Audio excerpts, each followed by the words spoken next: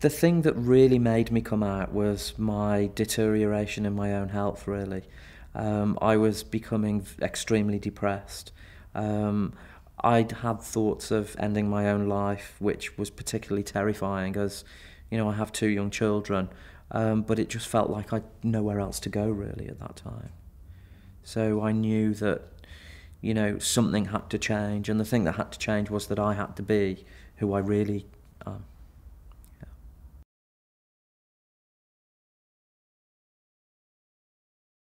When I decided to come out, um, the process of coming out for me was was quite difficult.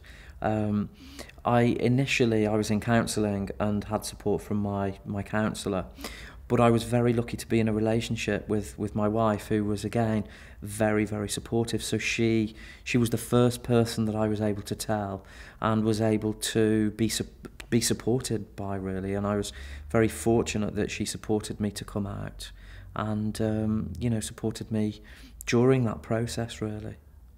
Once I'd come out properly to my wife, although she'd known about my sexuality for many many years, um, I, we we kind of decided to talk to the children over a period of a couple of months, and we talked to them about difference and about how different people are and how different animals are and how different trees are and and you know that, that you never meet one person or one animal or one plant that, that's the same.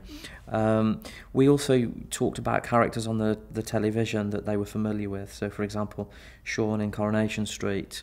Um, and we talked to them in that couple of months period about about those people. Um, and then one one evening I sat with the two children um, on their bed and just just talk to them about how different I was and what that would mean. And they they they just accepted that that, that it was actually it was fine. It, it it wasn't a problem to them. It wasn't a concern to them. The only concern my youngest daughter had was if I had a boyfriend or a partner in the future, what would she call him? Um, so that that was that was the question that came back.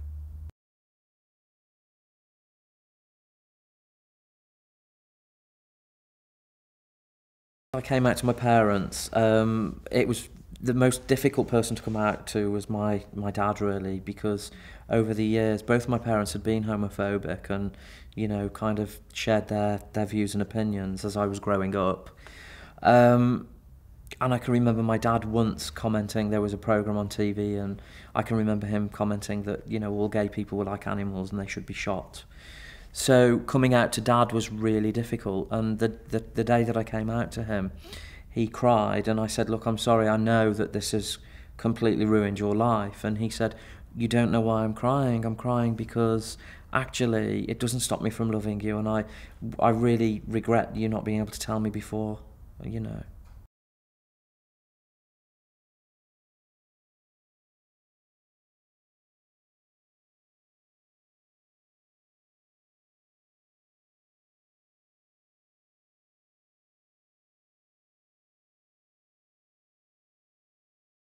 Being a gay man has really um, impacted upon my life. More recently, in the last five years, actually, um, since I've come out, um, people have said I've completely changed as a person. I've become more confident. I've I've become more able to be myself. Uh, I've been more relaxed, um, and and basically just get on with life um, in a way that I've never experienced before. I just feel completely free to be who I am. Um, and that, that, that's given me great confidence, really.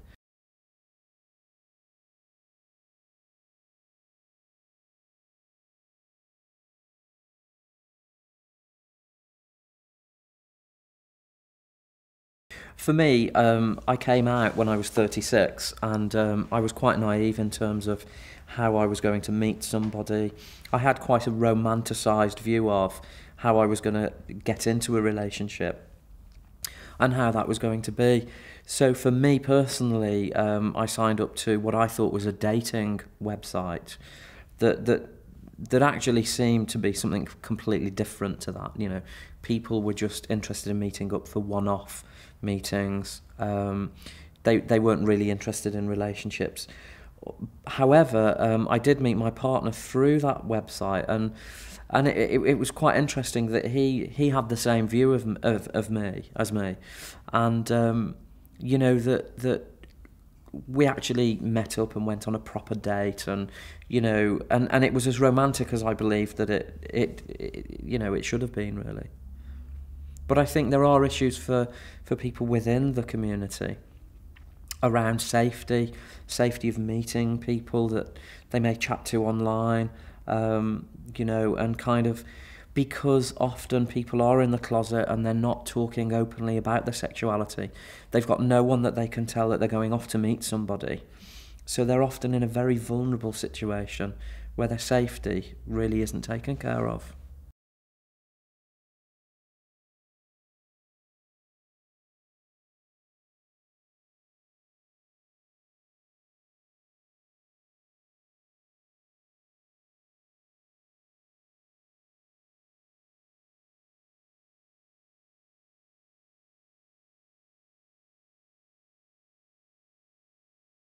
I remember HIV when when the adverts were out on the telly back in the probably the early 80s. Um, I was a young young kind of teenager in in those years and I remember particularly my dad saying, you know, this is a gay plague. This is a gay disease. All gay people are going to get HIV. You know, other people don't get it. And you know, because I, I knew that I knew really that I was gay, um, it, it concerned me um, in the day, in the 80s. And I just thought, you know, is that what I would become? Is, you know, and, and it was it was a it was a death sentence. So I very much kind of internalized that view that, okay, so if I am going to live as a gay man, then I have a death sentence. So it was it was it added to the pressure that I was under, um, and reinforced my my need to be in the closet.